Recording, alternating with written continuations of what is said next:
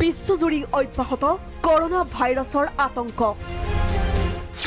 কৰোণাৰ আতংক অসমতো। গুৱাহাটীৰ বিমানবন্দৰত স্বাস্থ্য বিভাগৰ সতৰ্কতা। নিৰীক্ষণ কৰা হৈছে বিমান যাত্ৰীক। ব্যৱহাৰৰ বাবে বিতৰণ কৰিছে মাস্ক। স্থগিত কাজিৰঙা উৎসৱ দুহেজাৰ বিছ। প্ৰস্তুতি সম্পূৰ্ণ হৈছিল যদিও কৰোণাৰ আতংকৰ বাবেই কাজিৰঙা উৎসৱ স্থগিত কৰিলে প্ৰশাসনে। বাৰৰ পৰা পোন্ধৰ মাৰ্চলৈ আয়োজন কৰা হৈছিল এই উৎসৱৰ। কাজিৰঙা উৎসৱ যিহেতু উৎসৱত যিহেতু বহুত হাজাৰ মানুহ আমাৰ গোট খাব গতিকে আমাৰ- ৰাইজৰ জনসাধাৰণৰ স্বাস্থ্যৰ প্ৰতি জীৱনৰ প্ৰতি আমি লক্ষ্য ৰাখি আমি কাজিৰঙা উৎসৱ আমি পিছাবলগীয়া হৈছে। মাজুলীত তৎপৰ প্ৰশাসন। বিদেশী পৰ্যটকে গিজ গিজাই থকা মাজুলীত বাঢ়িছে কৰোণাৰ আতংক। জিলা প্ৰশাসনে গ্ৰহণ কৰিছে বিশেষ তৎপৰতা।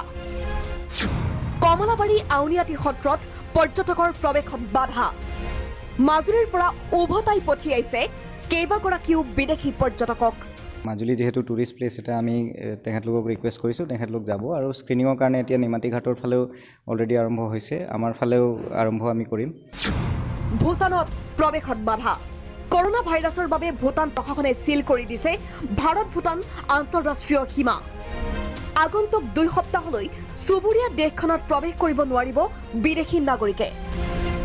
যোৱাকালিৰ পৰা ভূটান চৰকাৰে অৰ্থাৎ আজিৰ পৰা দুসপ্তাহলৈকে বাধা প্ৰদান কৰিছে। বিশ্বজুৰি আতংকময় পৰিৱেশ সৃষ্টি কৰা এই ভাইৰাছবিধ যাতে বিয়পি নপৰে তাৰ বাবেই সৰ্বত্ৰে এই সতৰ্কতা। অৱশ্যে এই পৰ্যন্ত এজনো আক্ৰান্ত চিনাক্ত হোৱা নাই যদিও যিকোনো মুহূৰ্তত চিনাক্ত হ'ব পাৰে কৰোণা আক্ৰান্ত ব্যক্তি অসমত। Bureau' report Prag news.